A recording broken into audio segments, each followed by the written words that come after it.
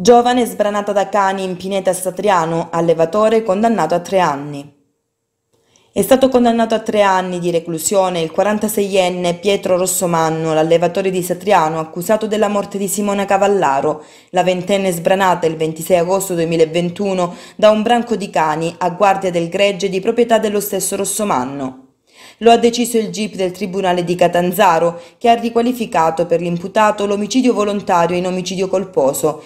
nei confronti di Rossomanno, che era accusato anche di introduzione e abbandono di animali e di invasione e occupazione abusiva di terreni, la Procura di Catanzaro aveva chiesto una pena di 15 anni.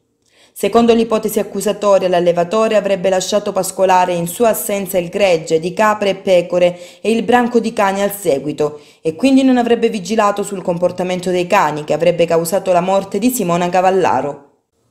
Condannata invece a otto mesi di reclusione la madre dell'allevatore Maria Procopio, 69 anni, per la quale l'accusa era di invasione e occupazione abusiva di terreni.